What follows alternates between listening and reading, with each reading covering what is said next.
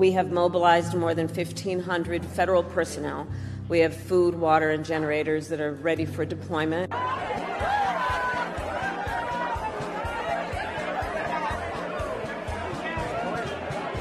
Today, I'm also announcing that the President has approved the governor's request for 100% federal reimbursement of local costs.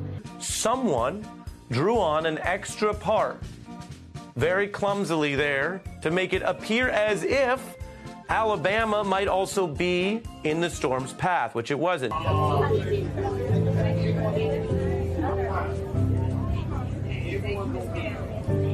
The president suggested bombing a hurricane on multiple occasions. Briefers reportedly told the president, We'll look into that. We will continue to do everything we can to help you recover and to help you rebuild, no matter how long it takes. This is a tough hurricane, one of the wettest we've ever seen from the standpoint of water.